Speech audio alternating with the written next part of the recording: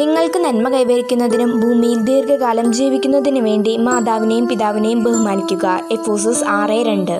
അമ്മയ്ക്കൊരുമ്മ ഞാൻ കണ്ണീരത്തി